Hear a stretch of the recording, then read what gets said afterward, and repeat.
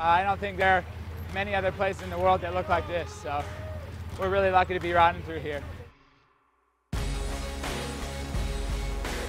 And that is Christoph Dahl, and he takes it to the line.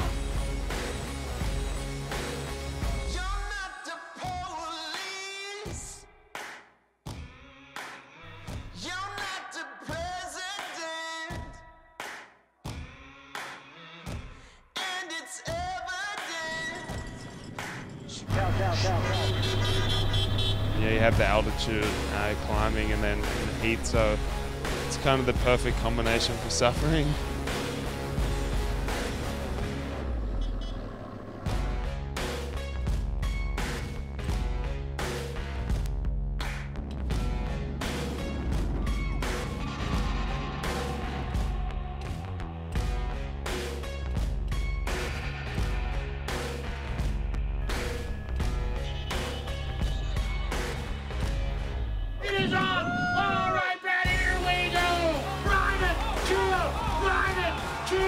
Wins! The most exciting dynamic finish in professional cycling!